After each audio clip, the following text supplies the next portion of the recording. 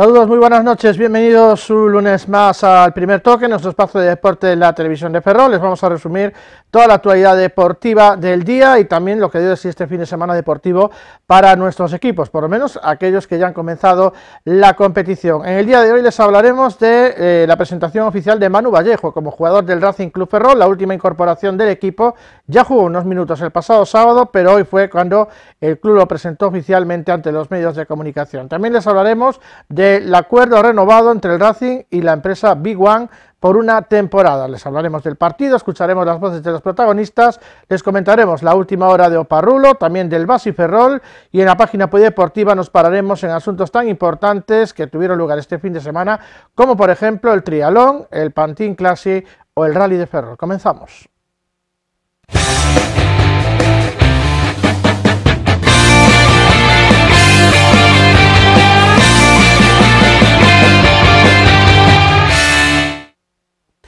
Pues nos vamos a la actualidad del Racing de Ferrol y comenzamos por lo más inmediato, por lo más nuevo. En este caso, la presentación esta mañana de Manu Vallejo como nuevo jugador del Racing Club Ferrol. Un futbolista que ya lo saben, puede jugar tanto de media punta como de banda izquierda, una de las necesidades del Racing. Precisamente en esa posición es donde parece que lo va a utilizar Cristóbal Parralo, de hecho ya lo utilizó este, en este último partido unos minutos, un jugador con una gran proyección en los últimos años, pero que también es cierto que en las dos eh, temporadas anteriores pues parece que rayó a un, a un nivel un poquito inferior y busca ahora esta regularidad que le caracterizaba. Llega del Girona, la temporada pasada estuvo cedido en el Real Zaragoza. Y acompañando a Manu Vallejo en la sala de prensa de Amarata en su presentación, quien mejor que el presidente del club, Manuel Ansede, que decía lo siguiente del jugador. Manu Vallejo es una vieja aspiración que teníamos, nos ha costado muchísimo convencerlo, tenía muchas opciones, pero estamos orgullosísimos y contentísimos de que haya optado por el Racing. El pasado sábado, como sabéis, ya debutó, ya tuvo sus primeros minutos, eh, Manu es un futbolista ya versátil y con experiencia. Lleva 147 partidos, 68 de ellos en primera, con una larga trayectoria en el Gerona, Alavés, Valencia y Zaragoza. Es un mediapunta natural, pero eh, con una versatilidad enorme que puede jugar por banda o puede jugar incluso hasta delantero. Internacional eh, en el 19 con la selección sub-21 y que ha demostrado su fútbol en todos los equipos que ha estado. Además de su fútbol, su calidad humana, que para nosotros también es muy importante. Una persona que se integra rápidamente en el vestuario, que comparte nuestra ideología, de que los jugadores aportan todos, en la posición en la que estén, tanto dentro como fuera del campo. Eh, nuestro, no, es, no es negociable el esfuerzo y Manu es un jugador que en ese sentido eh, siempre aporta. Aporta en el terreno de juego y aporta cuando no está en el terreno de juego. Esas son unas cualidades que valoramos y que nos sentimos muy orgullosas de mantenerlo dentro de todo el grupo. Eh, que Manu haya elegido esta opción teniendo eh, otros equipos a los que podía haber optado ha sido fruto de un trabajo muy importante de la Secretaría Técnica, del director deportivo y del entrenador, que han logrado convencerlos para que optasen por, esta, por nuestro club. En el Racing esperamos mucho de Manu, sabemos su calidad, le vamos a dar toda la confianza posible y tendremos toda la paciencia que necesite para que desarrolle todo su fútbol. Bienvenido Manu, esta es tu nueva casa en la que serás feliz con toda seguridad. Gracias. Y a continuación escuchamos las palabras del propio jugador, de Manu Vallejo, que insisto, el otro día ya jugaba sus primeros minutos ante el Granada, aparecía en la segunda parte, se le vieron cosas, pero evidentemente todavía le falta bastante para su puesta a punto. El jugador se, se encuentra en este caso muy contento de llegar a Ferrol, así lo transmitió, y también en la ciudad se encuentra cómodo. Bueno, pues como ha dicho el Presi, pues me veo bastante identificado con, la, con, la, con las señas del club, ¿no? Yo creo que, bueno, con, con, humildad, con, con, paciencia, con confianza, creo que, el club está haciendo las cosas muy bien y es verdad que, que en lo poco que llevo, pues eh, me, he dado cuenta de que, de así es. Creo que el vestuario pues eh, es una familia y, tenemos muy claro que, para conseguir eh, buenos resultados eh, tenemos que, basarnos, basarnos en eso.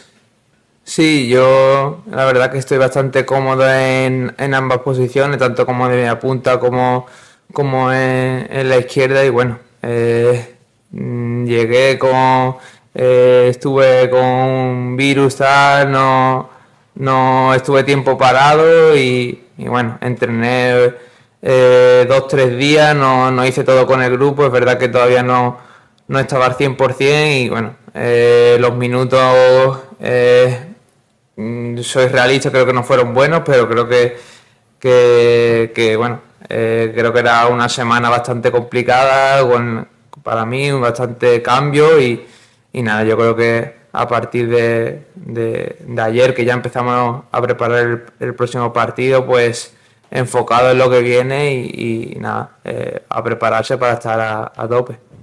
¿Qué tal, Manu? Buenos días, bienvenido. Algo de lo que estabais comentando, ¿te sientes mejor en banda o, por dentro?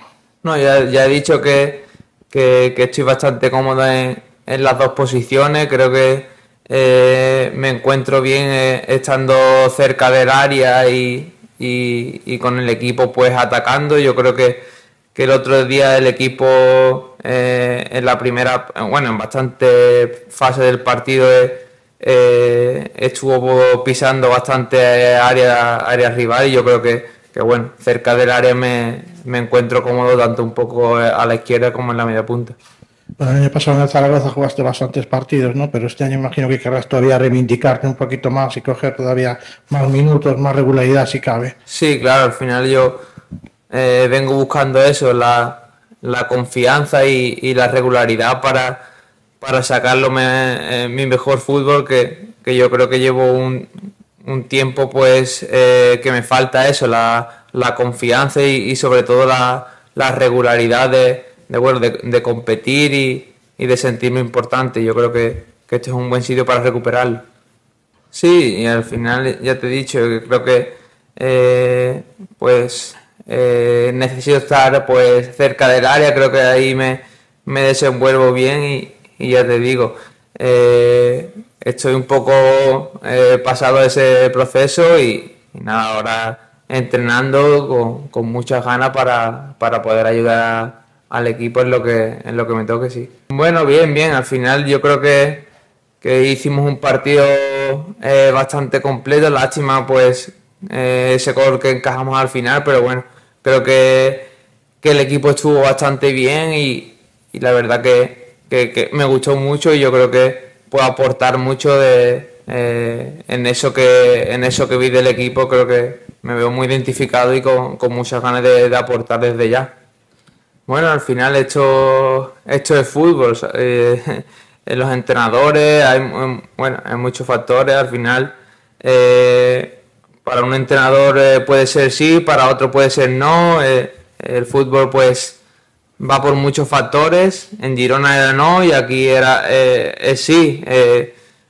estoy aquí con, ya te he dicho, con las ganas, con, con la ilusión de, de, recuperar todo, todo mi fútbol, yo, todo mi fútbol, yo creo que, este es el sitio adecuado y, es por eso que, estoy aquí. Sí, la verdad que, con muchas ganas, eh, sobre todo por eso, por, por entrenar con los compañeros, por, por estar al 100% y, y por jugar pues eh, ese partido del que hablas que encima pues lo que dice tiene eh, esa emotividad y tal que, bueno, lo afrontamos con, muchas ganas y con, y con mucha ilusión de, ir allí y, de, hacer buen partido y, conseguir la primera victoria.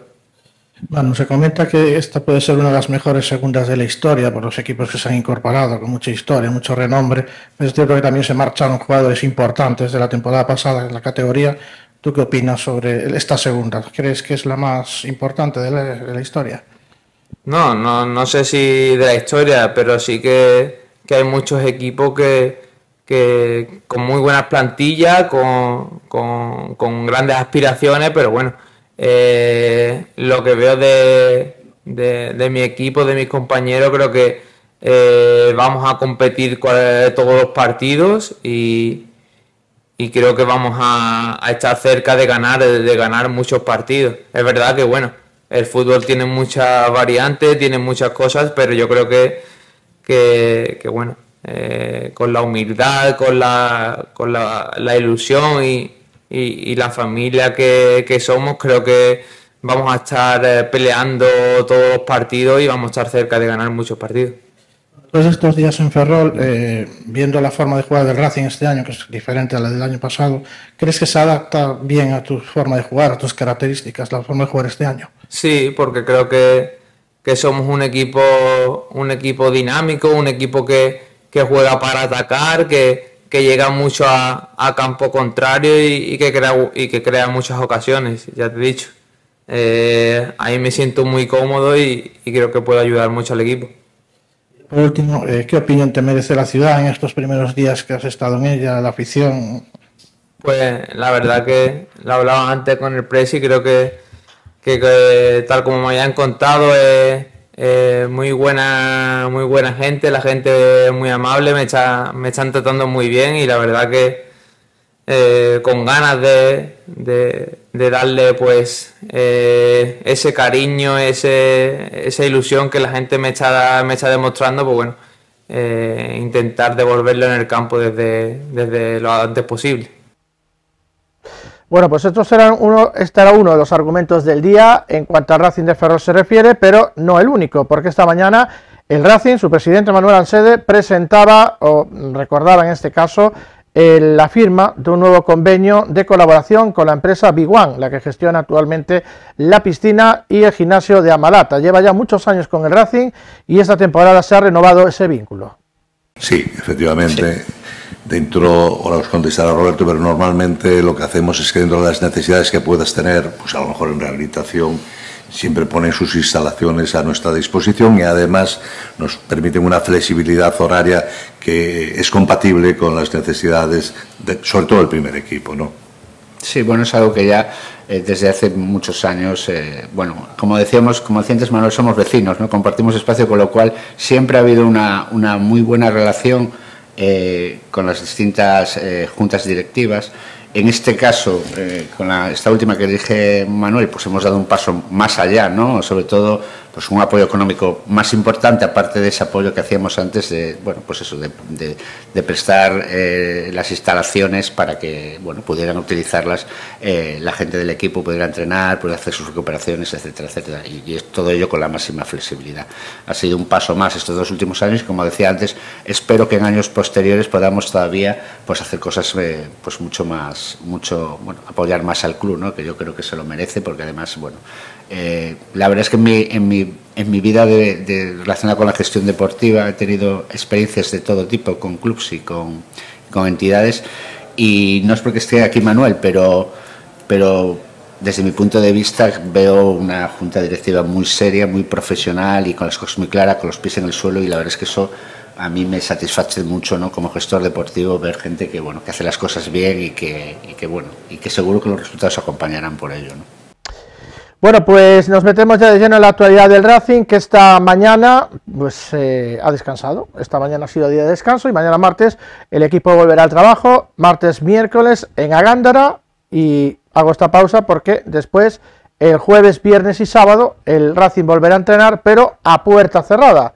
El jueves trabajará en Amalata y el viernes y el sábado lo hará en Agándara, pero en estas tres ocasiones será a puerta cerrada. Estamos pendientes del parte médico de Bryce Martínez, que el otro día eh, se lesionaba y evidentemente eh, estamos ahí un poquito esperando a ver lo que, lo que ocurre.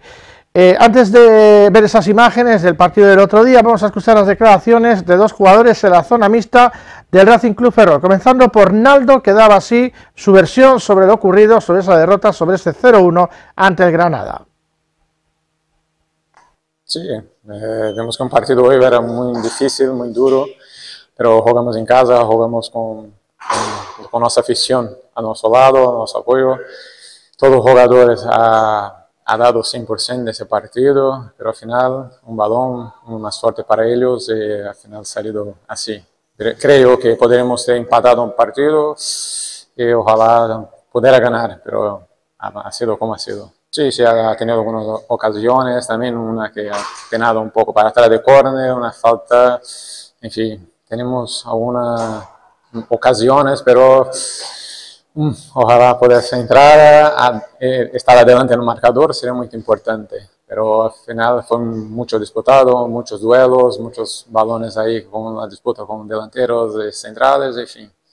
Mas estamos ahora a descansar, a pensar en el próximo partido también, que es muy importante, eh, sacar lo importante que he hecho durante el partido eh, seguir creciendo. Esto es muy largo, no podemos aquí solo lamentar, ahora es pensar adelante y sacar buenas cosas de este partido para lo próximo y no, no nos equivocamos. Es siempre una crecencia, ¿no? Cada partido que tenemos tenemos que crecer, tenemos que cada entreno dar lo máximo. Creo que estamos dando un pasito adelante. Eh, con el Mister también va, vamos a crecer juntos, todos los jugadores están determinados, a cada entrenamiento todos están dando 100%, así que vamos a seguir y ojalá el próximo partido ya podemos ganar fuera. Y también el sábado tras el partido hablaba el portero del Racing, Jesús Ruiz, que la verdad tuvo una muy buena tarde con paradas de mucho mérito. Lástima que en el gol pues ya no pudo hacer nada después de una primera parada espectacular. El jugador se lamenta de eso y dice que se autoexige a él mismo y que cada día quiere seguir mejorando. Bueno, eh, pues está claro que ahora mismo mal sabor de boca, ¿no? Porque creo que hemos competido muy bien, creo que hemos hecho eh, muchas cosas eh, muchas cosas bien contra un muy buen equipo que creo que es, bueno, eh, claro candidato eh, para ascenso y bueno, pienso que nos tenemos que quedar con lo positivo. Mm, creo que no hemos tenido suerte,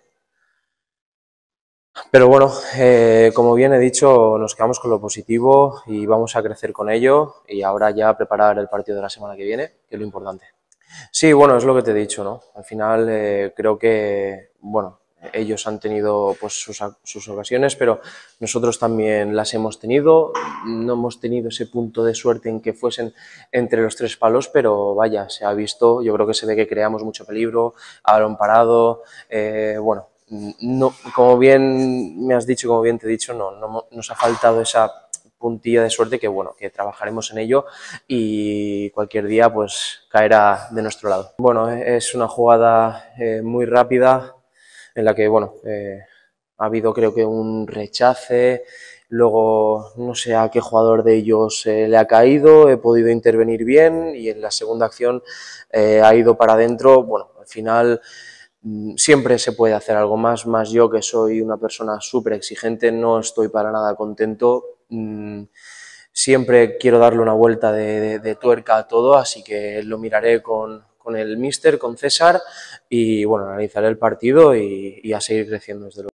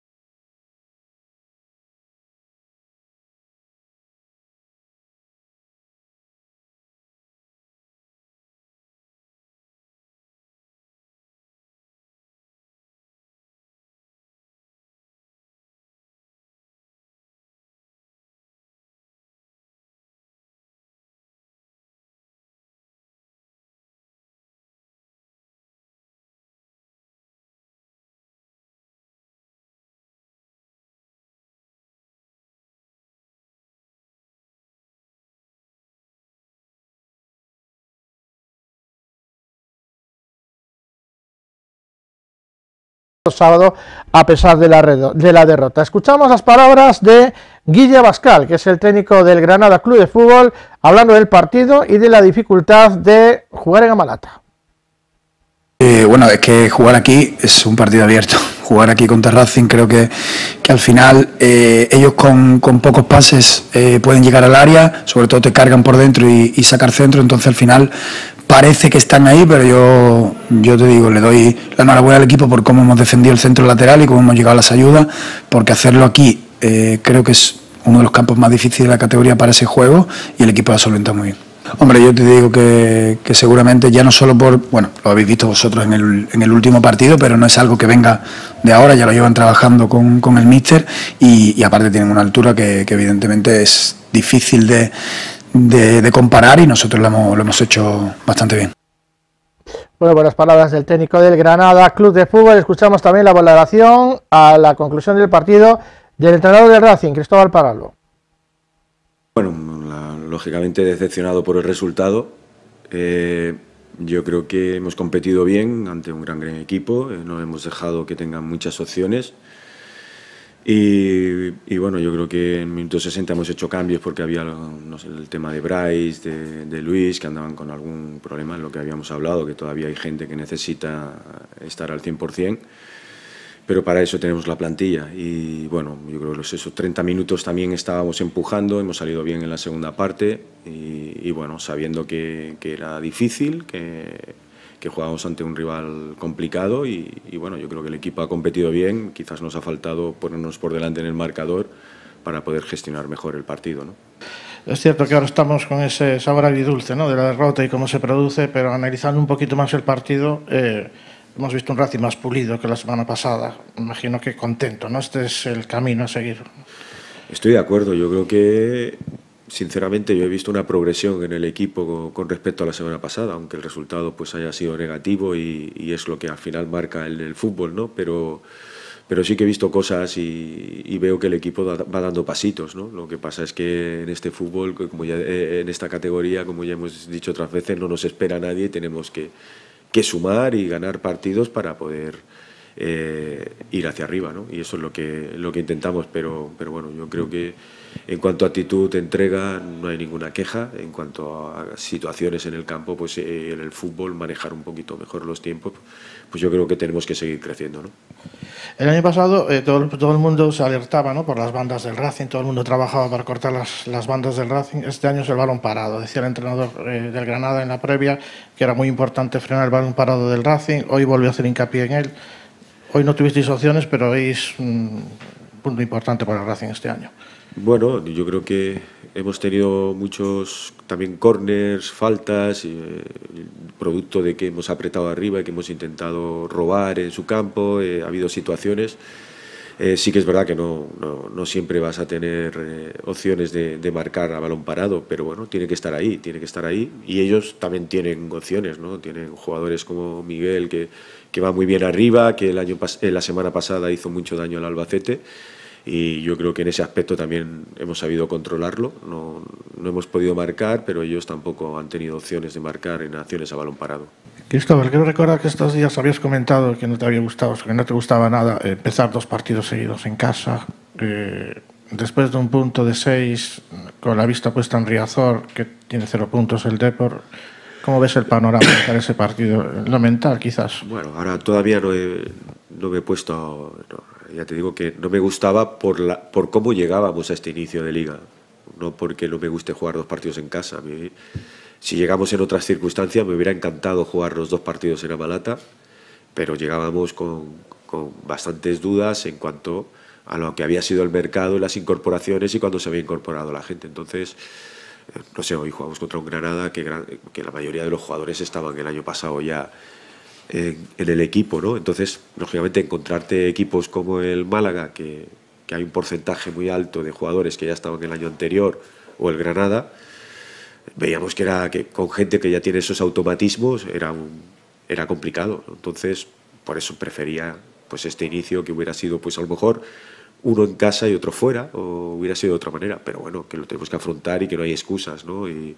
y lo que tenemos que hacer es pensar ya en el siguiente, a partir de ya, preparar de la mejor manera el siguiente partido y no hay más. Pero si me dan a elegir, pues hubiera elegido empezar de otra manera.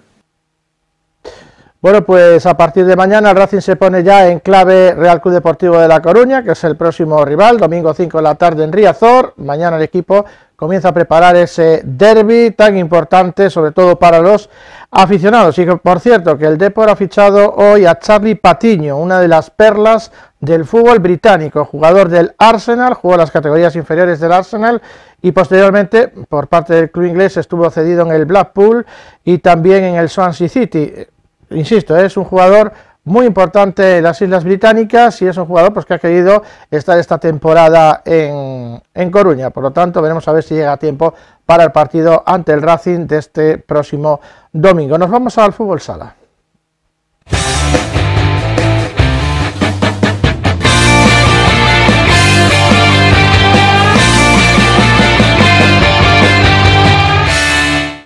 Ya se lo comentábamos el pasado viernes que el sábado el Oparrulo jugaba nuevamente en Amarata un partido de presentación, en este caso ante sus aficionados en esta nueva temporada 24-25, un Oparrulo muy renovado, con mucha gente joven, con algún veterano y con un objetivo no tan ambicioso como el de las últimas temporadas, que era ascender de categoría, sino un objetivo a medio plazo, ir creciendo poco a poco con esta juventud y cuando se pueda, pues intentar dar el salto a la primera división, que si se da la circunstancia de que pueda ser este año, ¿por qué no aprovecharlo? El rival de este fin de semana era el, el Estelar, el de Pontevedra, victoria de Parrulo por 5 tantos a 3, un partido con muchas cosas buenas y también muchas otras que corregir. Escuchamos al técnico de Parrulo. Pues un día importante para nosotros, eh, primer partido enfrente de nuestra afición en la Malata, que queríamos ganar por ellos, dar una buena imagen y que disfrutaran, que es lo que esperamos toda la temporada. Y más allá del resultado, la victoria, creo que hemos hecho algunas cosas muy bien hechas. Eh, hemos pecado de juventud, hemos sufrido un poco en algunos momentos, rival muy bueno, con algunas cosas muy interesantes, con un entrenador también muy bueno al final, buenas sensaciones. Em, creo que los jugadores creen en lo que estamos haciendo, que es importante. Las pocas cosas que estamos haciendo en el modelo de juego las implementamos, funcionan. Tenemos que corregir muchas otras, eh, ver el partido que hemos hecho y la semana que viene volver a por más.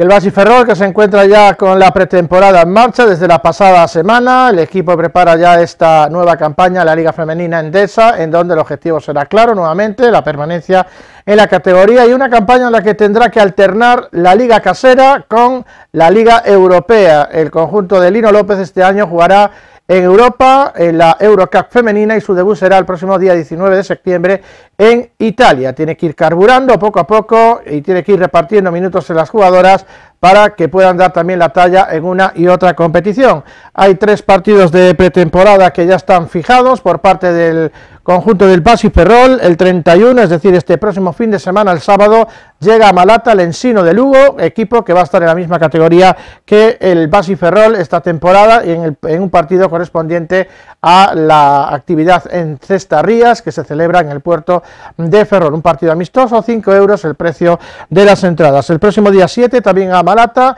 el, el Basi Ferrol recibe al Benfica y el día 12 viaja a Pontevedra para enfrentarse al Arsil en un partido de la Copa de Galicia.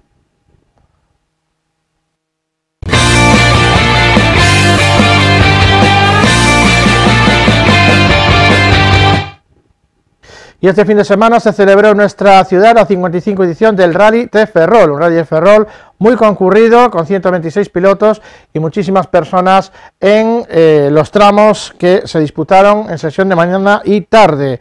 Se coronó nuevamente Víctor Senra como uno de los pilotos con más títulos autonómicos, ya que el triunfo logrado eh, por el de Umbría en la competición de nuestra ciudad supuso asimismo su octavo campeonato gallego de la disciplina, mientras que Alberto Meira y Abelino Martínez con su Skoda Fabia Rally 2 se colocaron detrás, de, detrás del ocho veces campeón autonómico, si bien a más de 40 segundos. Por su parte, John Bingels y Jordi Mercader tomaban la tercera posición con un Hyundai 120N Rally 2. Hay que decir que hubo un contratiempo en el tramo Ferrol-Ferrol, un vehículo se salió de la calzada, impactó con un poste de la luz eléctrica y tuvo que ser escarcelado por bomberos y las fuerzas sanitarias que posteriormente lo trasladaron al hospital. Fue una competición muy condicionada por la lluvia en su jornada matutina con tramos ya de por sí complicados, como iban apuntando los pilotos al cruzar la línea de meta. Por lo tanto, Víctor Sendra, campeón del rally de Ferrol. Y cambiamos de deporte porque otra de las disciplinas importantes de este fin de semana nos llevaban al trialón, al puerto de Curuseiras, ayer domingo, con más de 300 participantes inscritos. Ferrol puso el broche a un fin de semana de alta calidad deportiva con la celebración en el torno de Muelle Curuseiras de la 22 edición del Campeonato Gallego de Trialón, en la prueba consistente en 750 metros a nado, 20 kilómetros de ciclismo y 5 de carrera a pie, brillaron Sara Guerrero del Náutico de Narón y Martín Cando del Ciudad de Lugo Fluvial, que se proclamaron como campeones en la prueba autonómica con tiempos de 1 hora 5 minutos 13 segundos, mientras que eh, Sara hizo 57-52. Eh, cerraron el podio en masculino Jarno Pousada y Lucas García, también del Lugo Fluvial, y en categoría femenina lo hicieron como segunda María Casals del Club Lucense y se alzó con la tercera plaza María Alzaga del Náutico de Narón para sellar el doblete en el podio del club en la comarca. En categoría popular los mejores fueron Víctor Alias y Marta Cabello. También se subieron al cajón Pablo Bernat, Adrián Cierro, Miriam Zafra y Carla Martínez. La jornada tuvo el broche con la celebración del acuatlón popular Fenix Kiss, promovido por la Escuela Javier Gómez Noya, con participación de más de un centenar de deportistas desde la categoría de prebenjamines a cadetes. Y otro de los puntos deportivos de este fin de semana nos llevaron a Concello Valdoviño, concretamente a la playa de Pantín, porque arrancaba una nueva edición del Pantín Classic, en este caso con la prueba para Sur Lee, prueba de sur adaptado que llevaba su primer año de celebración y que la verdad que fue un éxito de participación. Las, dos primeras jornadas se reservaron para este particular y han estado marcados por eh, las victorias de Sara Almagro, Dani Souto, Hugo Rocha, Masín Cartín, Antonio Müller, Emma Blanchet y Ben Neumann, que han sido, como digo, los eh, ganadores en las diferentes categorías en las que participaban. La prueba internacional de sur adaptado, que figuraba, como les decíamos, por primera vez en el calendario del Parasur League, ha contado con la participación de 40 deportistas. La playa Valdoviño fue este domingo el escenario de las últimas mangas en las que ha habido siete vencedores de las diferentes categorías. También se han disputado las finales del Open Gallego de la Federación Gallega de Sur, en las que los surferos más jóvenes han demostrado su destreza sobre las olas para lograr un pase directo a la competición principal. Han conseguido esa Will Car. Con respecto a la categoría masculina, el Will Car fueron para los hermanos Manuel y Juan Fernández, y en femenina la Will Car se la llevaron Daniel Alonso y Lola Melendrez. Hoy ha continuado en la banca Pantín Classic Galicia Pro con la disputa del circuito Celta Luso Galaico Sub-18 se va a prolongar a lo largo de la semana y pronto llegarán los mejores surfistas del mundo en el resto de la semana hasta el próximo domingo completar esta nueva edición del Pantin Classic. Pues no hay tiempo para más, aquí lo vamos a ir dejando. Recuerden que volvemos con el primer toque el próximo viernes a las 10 de la noche. Mientras tanto, pueden seguir informados en nuestra emisora de radio Metro FM en el 90.6 del FM, también online en radio.tvferrol.es o en la TDT de su televisor y todos los días a las dos y media les contamos toda la información deportiva de Ferrol y comarca, también en las redes sociales. Pero nosotros nos encontramos aquí en el primer toque el próximo, el próximo viernes a las 10 de la noche. Será hasta entonces, muy buenas noches y gracias por su atención.